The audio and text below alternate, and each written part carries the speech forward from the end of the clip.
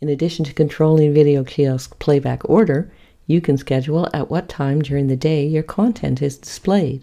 In this video, I'm going to discuss the scheduling options you have. Then we'll talk about how to decide which scheduling option is right for you. Let's get started.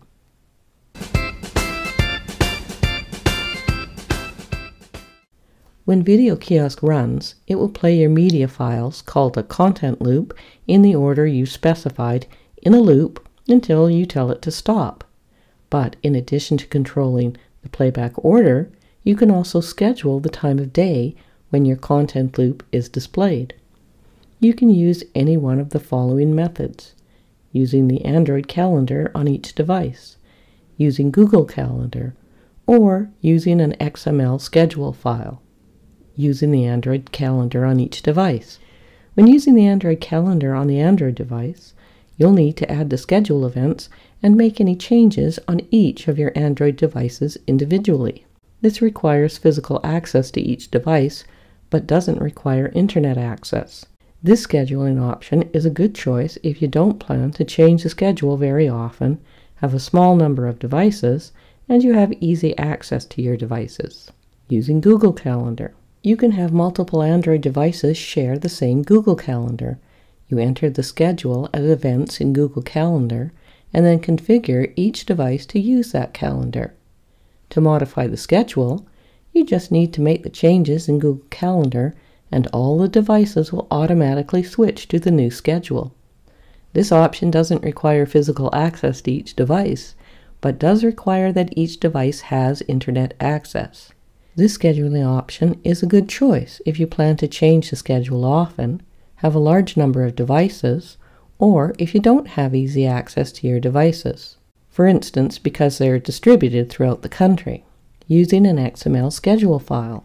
To use this scheduling option, you create an XML schedule file and deploy it on each device. You can have multiple Android devices share the same schedule. To modify the schedule, update the XML schedule file and either copy it to each device using a USB cable or update them using Video Kiosk's Cloud Update feature.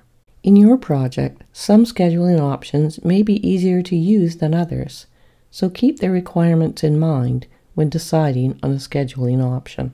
For example, if you plan to change the schedule every two weeks and your devices are installed in theaters across the country, choose a scheduling option that doesn't require physical access to each device. To see the requirements for each option, consult the Video Kiosk User's Manual. You'll find the link below. Here are five things to consider when deciding on a scheduling option. Number 1. Do the Android devices running Video Kiosk have internet access? If your devices don't have internet access, you still have scheduling options. These two options require internet access.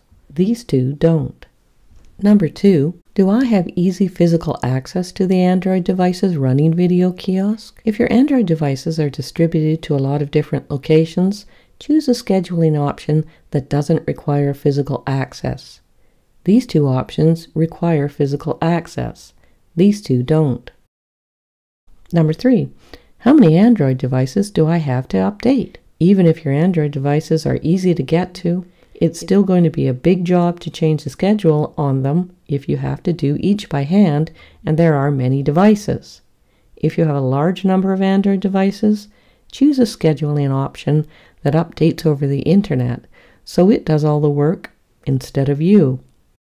These two options update over the internet. These two don't. Number four, how often will I change the schedule? If you are planning to change the schedule frequently, choose the scheduling option that updates over the internet. These two options update over the internet. These two don't. Number five, is the schedule recurring?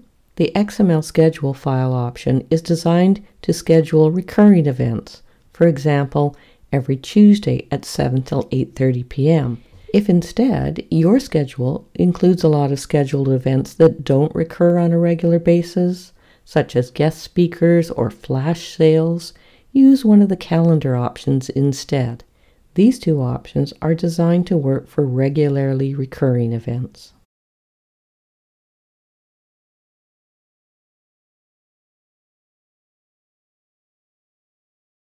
Here are some examples of how to use scheduling.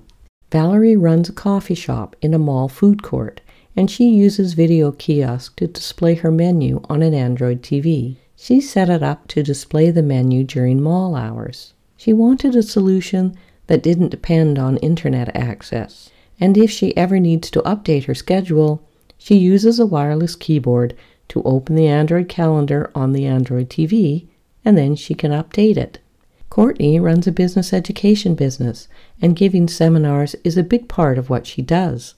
She uses digital signage to provide general information as well as to promote her business. She uses the Google Calendar option and wireless internet. She schedules playback to turn on during breaks and to turn off during instructional time. She wanted a solution that allows her to easily change the playback schedule on all of her Android devices so she can set up the schedule for the entire seminar and have the kiosks running without requiring her intervention. Benjamin works for the IT department of a university that has screens running digital signage throughout the campus. He scheduled them all to run only during school hours, which are the same every weekday and different for Saturdays and Sundays. He uses Video Kiosk's XML schedule option there are hundreds of screens, and it would be a lot of work to update each screen individually with a USB cable. So he uses Video Kiosk's Cloud Update feature and updates over the Internet. For step-by-step instructions on how to use each scheduling option, check out the other tutorials in this series.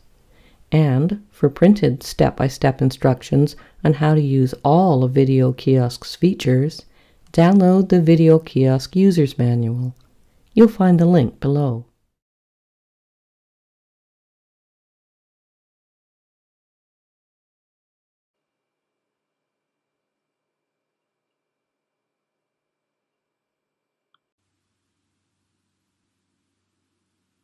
If you found this video helpful, please leave us a comment.